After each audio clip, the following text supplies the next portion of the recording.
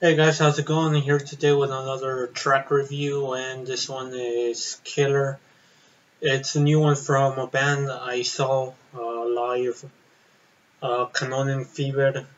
Um, they're a great band um, uh, with uh, themes of uh, World War One. even the members are uh, dressed as uh, troops from uh, from the war. So anyway, yeah, this song I would give it a seven out of ten. It was too calm, but I do like the vocals. Uh, they're um,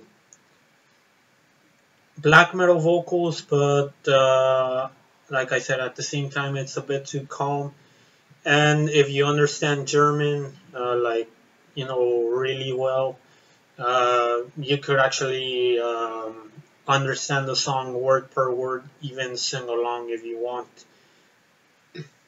Now I myself understand a little bit of German, so you know I um, I was able to uh, you know know of a few words that uh, they were uh, singing. So yeah, anyway, the song is um, it just sounds like a fun little sing along. Uh, I don't mean to diminish it by saying fun little or you know anything of the sort. I'm just saying that uh, you know it sounds catchy and it's uh, repeating. Um, Deutschland, Deutschland, Vaterland. Uh, so you know, it's uh, it's more like a chant, you know. So yeah, I mean, I saw these guys live. Um, they were great, and there was also uh, a bit of moshing. I wasn't able to mosh because I had on um, a spike band, and when I did mosh, people uh, would come up to me saying like, "Hey man, uh, that thing hurts."